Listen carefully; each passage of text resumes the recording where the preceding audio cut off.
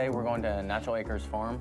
It's where we buy our beef. We're buying uh, half a cow. No, man can. And Man can. no, you sit there. Girls are always first. I told you that. Sit, sit.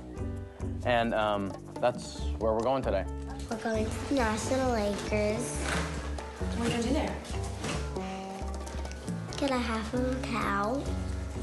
We eat organically, and naturally, then we eat organic beef. And this is the second year that I have uh, bought a quarter or a half of a cow for this year from Natural Acres. It's very important to us. We won't eat any other meat just because it's hormone free and antibiotic free, and I want to feed them the healthiest possible.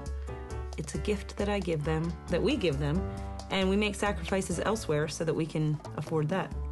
Last year was my first time buying like beef in bulk, so I didn't even know the cuts I really wanted. I kind of experimented. So by this year, I knew that I what I needed. Did you buy more ground beef than Double. cuts? Yeah, so we use a lot of ground beef. It makes the most sense for us to buy half of a cow, and it, I mean it is very expensive, but in the long run, buying that much you save. Last year at this time, we were still not necessarily using like two pounds of meat at a meal. Now, for a few months now, we've been always using two pounds. So this will last us, I hope, a year. I'm sure a year. Show us off. Show us on. Okay. I'm just packing lunch for the kids because we're going to be out in the middle of nowhere. Do you have a spare cooler thing, Jon? No, I can take one out of the big cooler. Yeah, that's what I asked for. No, you asked me if I had a spare one. Could you spare one? That's better. That's not what you asked. Read the list out loud to me. Don't just discard it. This is stuff for today. Apple juice, yeah, I have it in the cooler in the van already. Two things of apple juice? Yes, make sandwiches. You already did that. You're packing them. Get cold packs and, and coolers. Cooler. I got one cooler with cold packs and grapes. Where are the grapes? In there? Okay, yep. This stays over there. Jon, can you take a deep breath because you're really annoying everybody? Ew, but it's there. No, put it between your seats to wipe Joel's nose.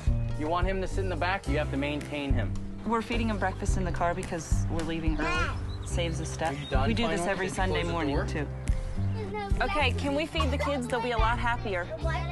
Those food purses are actually, they came with the um, girls' Easter dresses. And anyway, I ended up with six of these little pouches, these drawstring pouches, and we just put dry cereal in them every Sunday morning on the way to church. In a bag. in in a bag and we clip them to their top clip of their car seat so that I'm not wandering up and down the entire trip handing people their cereal and it's not spilling all over. And it seems to work really well. We open them and they just sit there and munch as they go and Yeah. it works really really well. I wonder whose idea was that was. That was your idea, honey. It was.